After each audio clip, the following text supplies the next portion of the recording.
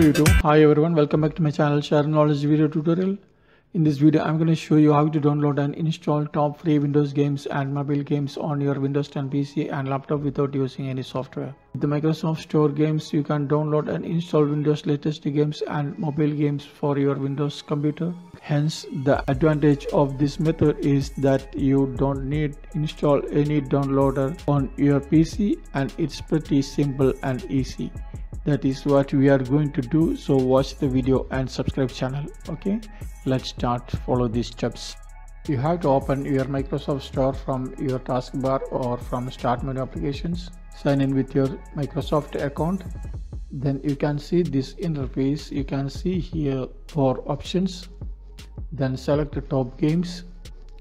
Now you can browse thousands of free and paid games by category read user reviews and compare ratings. You can see here the options.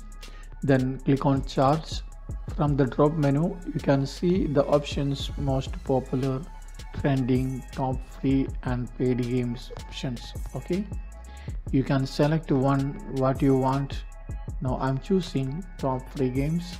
Next departments games. No need changes.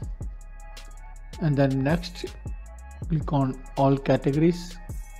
From the drop menu categories you can see educational games category racing sports and more games categories. You can choose one your favorite game category. Now i'm choosing sports games sports category. Next you can see here all ratings. If you want to compare ratings you can compare click on here and you can compare with games ratings. Next here you have more filters. Click on more filters. Here click on number of players any number of players.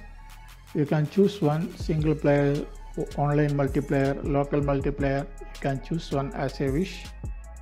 Next click on capabilities.